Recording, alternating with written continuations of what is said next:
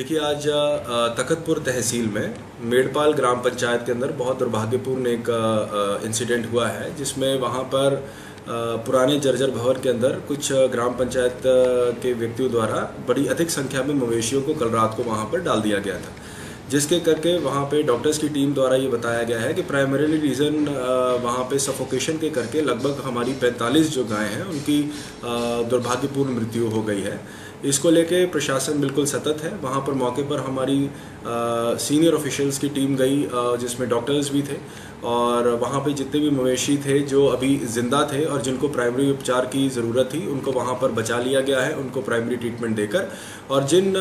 गाय की मृत्यु हो गई थी, उन्हें प्रॉपर वहाँ पर बरियल ग्राउंड में उनका बरियल कर दिया गया है। और इस चीज़ को बहुत गंभीरता पूर्वक लेते हुए हमारे द्वारा जो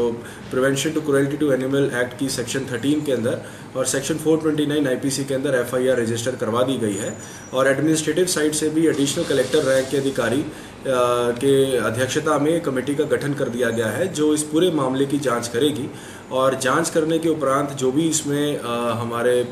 व्यक्ति दोषी पाए जाएँगे, उन पे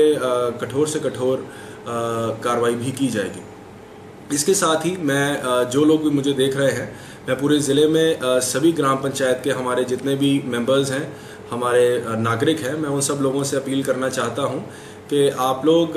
ऐसी परिस्थितियों में जो जानवरों को मत रखिए जिससे कि सफोकेशन की संभावना या कोई महामारी फैलने की संभावना हो और इस प्रकार की दुर्भाग्यपूर्ण घटनाएँ जो हैं ज़िले में दोबारा रिपीट हो और